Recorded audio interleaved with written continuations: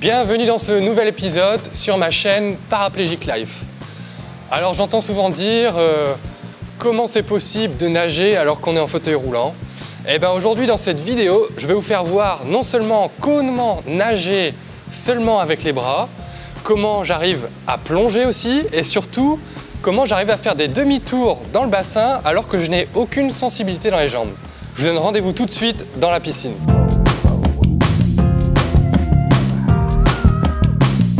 Alors pour moi, toute la difficulté réside dans le fait de devoir euh, pallier à mes jambes qui sont paralysées.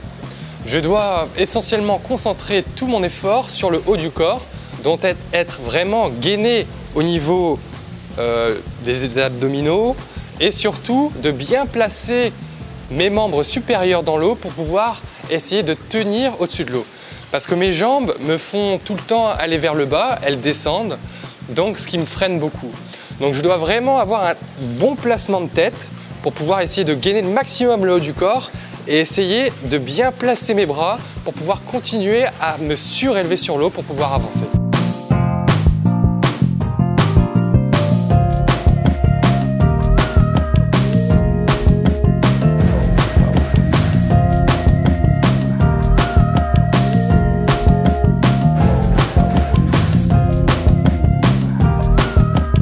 Alors quand j'ai commencé la natation, euh, forcément j'avais pas une technique qui était très très bonne. Alors j'ai dû m'adapter à un pool boy. Donc un pool boy c'est un flotteur qu'on met entre les jambes qui me permettait de pouvoir surélever mes jambes dans l'eau. Alors comme je ne peux pas serrer mes jambes autour du pool boy, j'ai adapté un pool boy avec Nabaji que je peux enfiler autour de mes jambes et puis finalement que je peux scratcher ici pour pouvoir me maintenir les jambes et pouvoir faire flotter mes jambes. Je le conseille vraiment aux débutants qui sont paraplégiques et, ou même aux personnes euh, qui n'ont pas envie simplement de, serrer leurs jambes. C'est vraiment un outil qui est, très sympa et qui me permet de pouvoir progresser très vite. J'ai aussi utilisé des plaques, une des plaques qui vous donne euh, la possibilité de pouvoir aller plus vite et vous pouvoir, vous donner plus de force dans l'eau, ce qui vous fait, quand vous fait aller plus vite dans l'eau, vous surélève et vous permet de pallier aux muscles qui sont paralysés.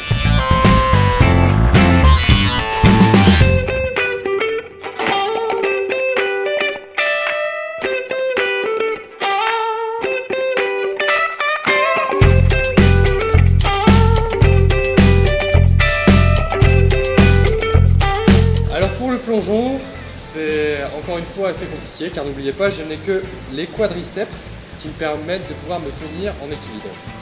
Alors j'ai adapté une technique pour pouvoir euh, plonger et gagner de la vitesse euh, lors des départs pendant les compétitions. C'est de mettre mes pieds au bord du clos. Mes pieds que je, ne sens toujours pas, hein, j'ai aucune sensibilité, donc je dois vraiment faire attention à, à ce qui ne glisse pas. Je me mets en surélévation avec mes mains Et là, je me penche, je prends de l'élan et je vais pousser sur mes quadriceps pour pouvoir plonger dans l'eau.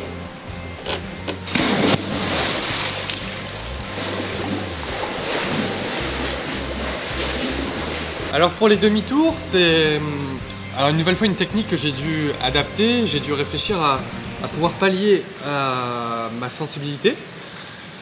Donc c'est vraiment de prendre de l'élan avec euh, mes bras, tirer et pouvoir balancer mes pieds à l'aide de mes abdominaux comme une pirouette et finalement de les claquer contre le bord. Et une fois que je, je ne sens pas vraiment, mais une fois que je, avec mon regard, je vois que mes pieds sont claqués, je repousse avec mes quadriceps. Alors souvent, ce qui se passe, c'est que mes pieds glissent sur le bord. Donc, j'essaye de croiser un petit peu mes jambes, comme ça, pour pouvoir, j'essaie de croiser mes jambes pour pouvoir redécoller. Car mes jambes, souvent, si je ne les croise pas, elles glissent ou elles se mettent de coin et je n'arrive pas à relancer pour reprendre de la vitesse dans le bien. On peut voir que mes jambes bougent. Alors ce n'est pas un mouvement de propulsion, mais c'est un mouvement équilibrateur euh, qui se fait naturellement dans l'eau. Alors quand on me voit nager, on pense que je fais euh, des mouvements comme une personne valide, mais c'est tout simplement le fait d'aller chercher loin dans l'eau avec mon bras, avec le mouvement du roulis des épaules, qui fait remonter ma jambe gauche, ma, jambe à chaque fois opposée. Et donc on pense que c'est un mouvement qui me propulse, mais pas du tout, c'est vraiment équilibrateur. Et euh, ça me permet aussi surtout de pouvoir euh, rester au-dessus de l'eau pendant que je nage. Alors malgré mon handicap, je peux nager les quatre nages, dos, bras, scroll. Euh, j'ai bien sûr, au bout de maintenant, ça fait presque six ans que je nage, j'ai une technique qui commence à se perfectionner de mieux en mieux, donc j'ai de plus en plus de facilité dans l'eau. Mais euh, si vous êtes quelqu'un qui commence la natation euh, et que vous avez un petit peu d'appréhension pour aller dans l'eau, je vous conseille de faire euh, le dos à deux bras. C'est une nage qui est assez simple et aussi une nage qui vous permet de vous mettre en confiance avec pas trop d'efforts. Donc je vous conseille vraiment d'essayer cette nage, le dos à deux bras, pour pouvoir commencer la natation tranquillement sans vous faire de frayeur.